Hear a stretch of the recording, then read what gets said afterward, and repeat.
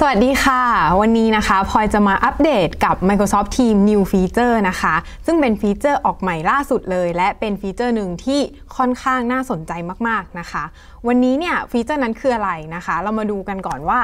ที่ผ่านมานะคะที่เรามีการ work from home กันเนี่ยแน่นอนค่ะทุกคนทำงานจากที่บ้าน หรือบางท่านเนี่ยก็ทำงานจากข้างนอกนะคะ ก็ต้องเจอปัญหาอย่างหนึ่งละค่ะ ก็คือมีเสียงรบกวนเสียงรอบข้างที่ค่อนข้างมากนะคะ วันนี้เนี่ย Microsoft Teams นะคะก็มีฟีเจอร์ใหม่ชื่อว่า noise suppression นะคะ ที่สามารถที่จะลดเสียงรบกวน ระหว่างที่เราทำการ call หรือว่ามี meeting กันได้นะคะ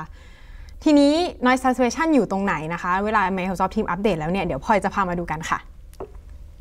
อย่างแรกนะคะก็เข้ามาที่หน้าโปรไฟล์ของเรานะคะ พอกดเข้ามาที่ไอคอนแล้วเนี่ยก็เข้ามาที่ Setting นะคะ พอเข้ามาที่ Setting แล้วเราเลือกที่ Device ค่ะ หลังจากเลือก Device เราจะสังเกตเห็นคำว่า Noise Suppression อยู่ทางด้านนี้นะคะทั้งด้านเจ้าตัว noise suppression ค่ะ มันจะสามารถลดเสียง background ไม่ว่าจะเป็นเสียงเพลง เสียงนก หรือเสียงอื่น ๆ ที่เกิดขึ้นที่ไม่ใช่เสียงพูดนะคะ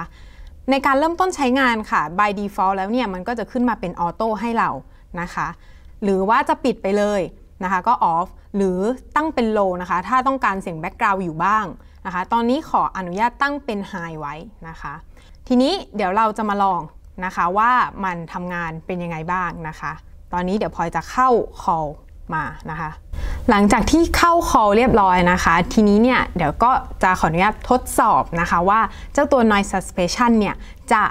ทำงานให้เห็นเด่นชัดเลยยังไงนะคะ วันนี้เนี่ยก็จะสาธิตนะคะด้วยสมมติว่าตัวนี้คือถุงขนมของพลอยนะคะ ทีนี้เนี่ย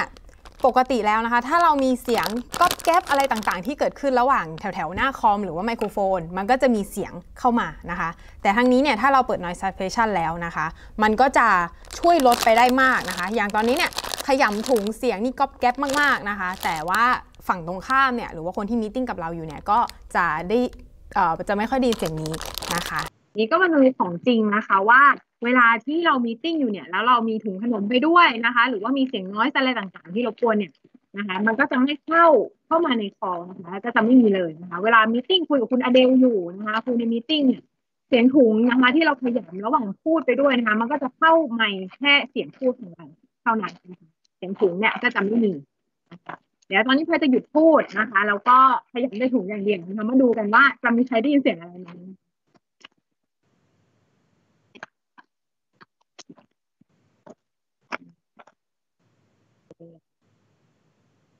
โอเคนะคะ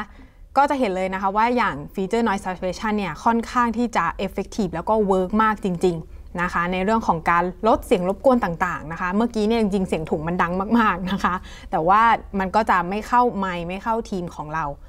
สำหรับในคลิปนี้นะคะ ก็หวังว่าจะเป็นประโยชน์กับทุกๆคนนะคะ ก็วันนี้ลาไปก่อนนะคะ สวัสดีค่ะ